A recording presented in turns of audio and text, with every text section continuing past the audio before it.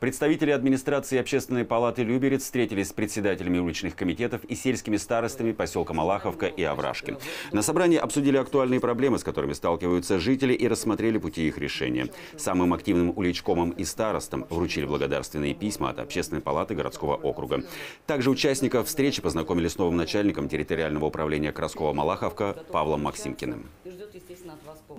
Профиль это, это многодетный, это защита. Я рад оказаться с вами здесь, в этой команде.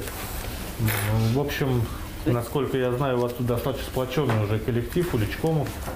Ну, давайте будем вместе, э, плечо к плечу, будем работать с вами. Надеюсь, что результат не заставит себя долго ждать. И наш поселок, поселки превратятся ну, в жемчужину Подмосковья, скажем.